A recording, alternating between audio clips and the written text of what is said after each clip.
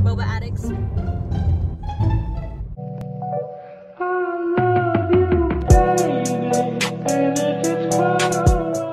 Hey guys, welcome back to my channel. So today we're going to be testing the e.l.f. Poreless Putty Primer. And I know this has been going around a lot. And I heard it's a dupe for the Tatcha Primer. I forgot the name of it. I have not tried the Tatcha one. I think I will if you guys are interested in that. I can do like a drugstore versus high-end Tatcha versus e.l.f. But yeah, this is what the packaging looks like. I'm just gonna open it up. Of course, I gotta smell it. Uh, it doesn't smell like anything though. It's like kind of chemically, but this is what it's like. I've already done my brows, so we're gonna go ahead and go in with a primer. I'm just gonna dig it with my nail. It's pretty nice. I'm concentrating it a lot on my nose because that's where I have the most pores. It does feel really nice, especially for a drugstore primer. So it only takes me about this much to get a full face. I'm gonna go ahead and apply my foundation. So one coat, one layer of my foundation is going on really nicely.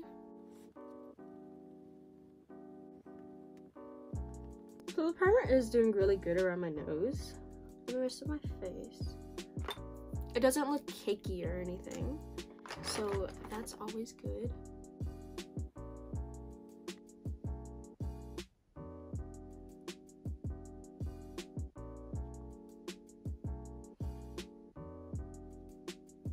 I'm gonna go ahead and do the rest of my base makeup and I will get back to you guys.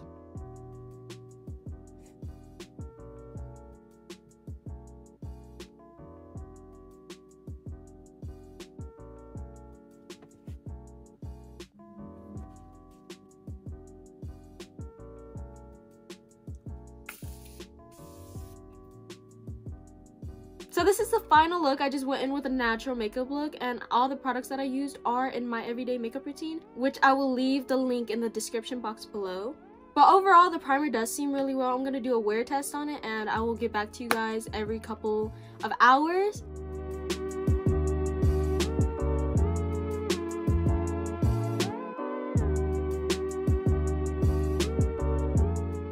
For now, this is all and I will see you guys in my next clip.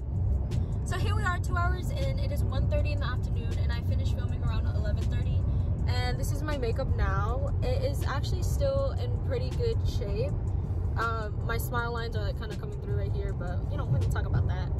But overall, the primer is holding up really nicely. Um, I got some Kung Fu tea, of course, you know, boba addicts.